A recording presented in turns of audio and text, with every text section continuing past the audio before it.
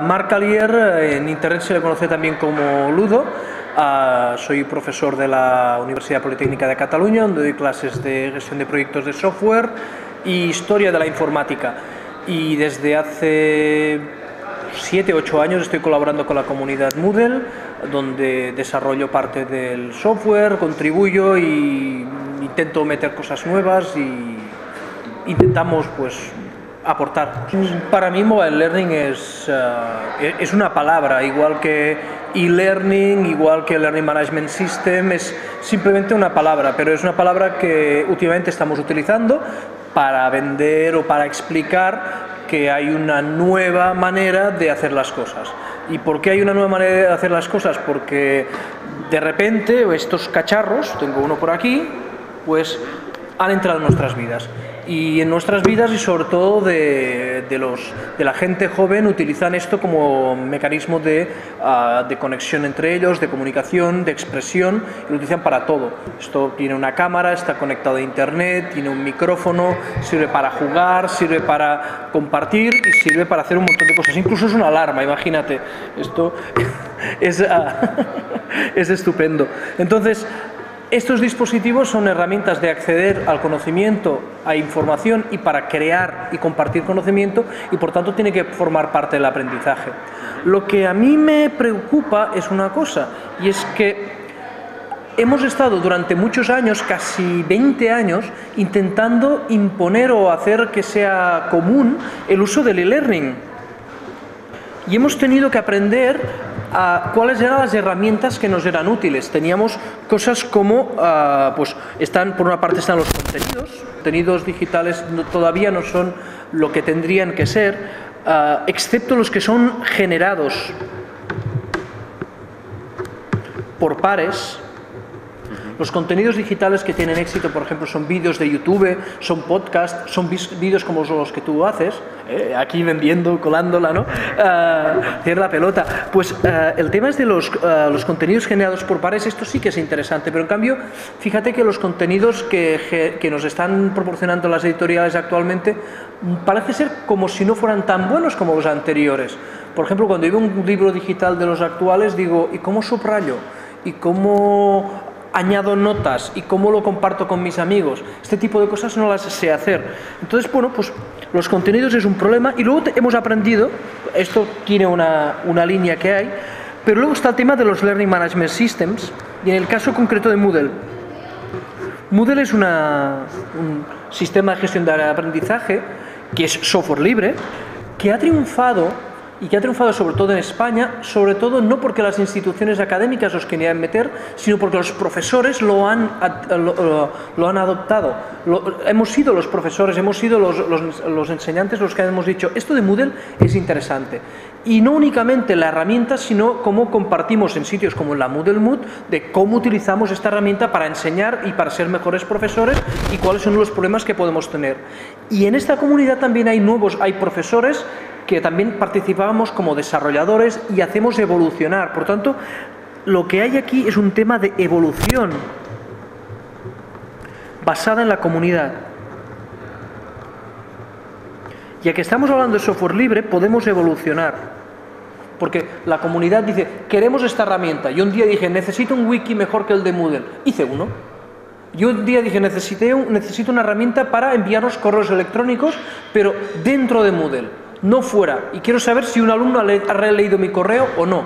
Pues lo tuve que hacer. Y, lo compartes y gente empieza a utilizarlo y eso hace evolucionar el producto.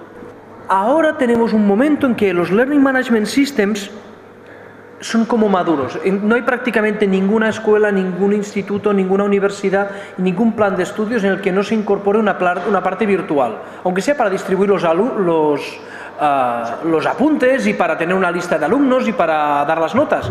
¿Eh? Y luego hay gente pues, que hace otras cosas, pone cuestionarios, pone wikis, pone foros de discusión, mente, cuelga contenidos, SCORM o cualquier otra cosa. Pero esto ya, ya lo tenemos. Si ahora de repente vamos a empezar a hacer mobile learning, decir, oh, no, oye, mira, es que vamos a utilizar ah, Twitter y vamos a utilizar Facebook y vamos a utilizar ah, herramientas específicas de mobile learning basadas en juegos y realidad aumentada que también se hace en los móviles y tal. Entonces de repente tendremos que todo esto que hemos aprendido a hacer y que ya sabemos y que ha habido mucha gente que ha aportado a estas herramientas, se va a quedar como obsoleto y vamos a empezar otra guerra distinta. Y mi idea es, no, el mobile learning tiene que estar conectado. Tiene que estar conectado con lo que existe actualmente. No, queremos, no quiero decir que las cosas que se hagan tienen que estar hechas, tienen que ser extensiones o versiones móviles. Pero digo que cuando alguien quiere una nueva aplicación, por ejemplo un juego de, de realidad aumentada, los, los objetivos de este juego, los objetivos educativos de este juego, lo que se gana, los rendimientos académicos, lo que aprendemos, tiene que poder ir en forma pues, de un portfolio, de alguna manera, tiene que ir, caer en un Mahara o tiene que caer en un Moodle. Y tiene que haber herramientas para que los desarrolladores hagan esto. Y aquí es donde estamos con el proyecto, aquí es donde hablo, de mi libro, ¿eh? que es el proyecto Moodbile. El proyecto Moodbile eh, que es un, es un nombre eh, que si tú coges la palabra Moodle y la palabra mobile y haces como una especie de fusión, como los superguerreros de bola de dragón, pues te sale Moodbile. Y, es, y tenemos pues moodbile.org, que tenemos el dominio, y aquí ¿qué es lo que hemos hecho? Pues nosotros hace, hace cinco años empezamos a trabajar en cómo extender hacer más interoperable la aplicación Moodle, hacerla más interoperable. ¿A través de qué? A través de web services, de servicios web.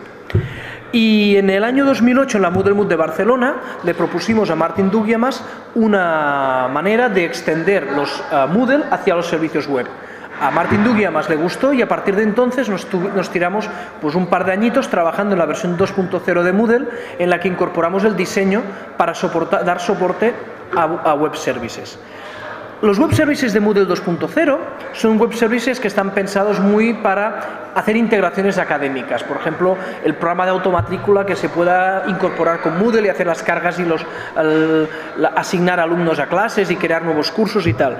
Pero nosotros lo que queríamos era poder conectar aplicaciones móviles, que un móvil pudiera autenticar un estudiante, saber en qué curso se encuentra o hacer cosas como poder descargar los ah, archivos que hay o poder, por ejemplo, una entrega de, una tarea, en vez de hacerla desde un ordenador, hacerla desde un dispositivo móvil, ¿eh? ya que también puede tener un procesador de textos o simplemente una entrega puede ser una película o algo que he grabado, un podcast o un vídeo, por ejemplo. Pues la idea tengo que quiero hacer esto desde el mismo ah, dispositivo móvil y entregarlo. Yo quiero, por ejemplo, que un alumno pueda leer ah, el los contenidos de una asignatura, leerlos en el metro y descargarlos. O si hay anuncios de la asignatura o hay un foro, poder participar pues, mientras está en el autobús o simplemente en la misma clase.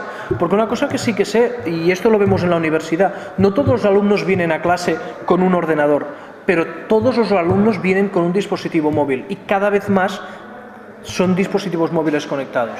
Por ejemplo, en mi universidad, en todas las clases tenemos cobertura wifi y sabemos por análisis de las estadísticas de la universidad, del acceso al Moodle de la universidad, que un porcentaje de los alumnos ya se conectan al Moodle de la universidad.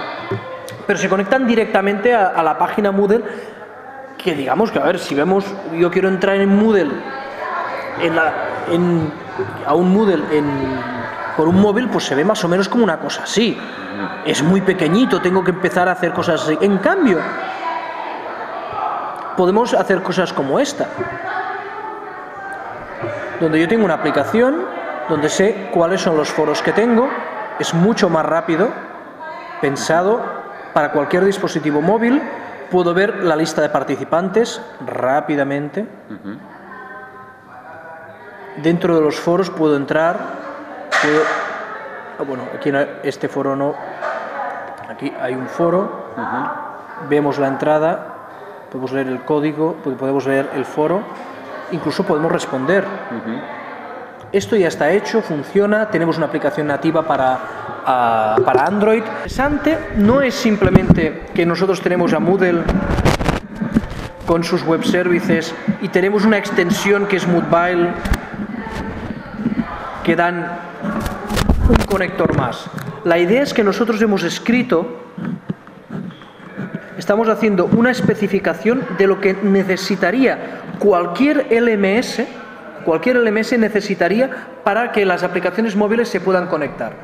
Y entonces queremos esto, hacerlo no solo para Moodle, sino queremos hacerlo para Sakai, que es otro LMS ah, también de software libre, queremos hacerlo por OLAT, que es otro software, otro software libre LMS, o incluso se podría hacer para Mahara, cualquier herramienta. La idea es tengamos un único lenguaje de web services para conectarnos con herramientas de gestión académica, de forma que no tengamos los clientes de iPhone, de Android o de HTML5 de Mobile, sino que tengamos cuando haya un desarrollador que tenga una idea de una aplicación móvil que se puede integrar con un Learning Management System, con un LMS, pues tiene un lenguaje y tiene una forma estándar de conectarse. Con esta nueva comunidad de software libre que estamos eh, creando, queremos ir desarrollando las implementaciones de referencia para primero Moodbile, algún día para Sakai y poco a poco ir ampliando las funcionalidades en base a lo que haga falta. Ahora solo hace falta pues, que experimentemos y cuantos más desarrolladores se apunten al carro, mejor.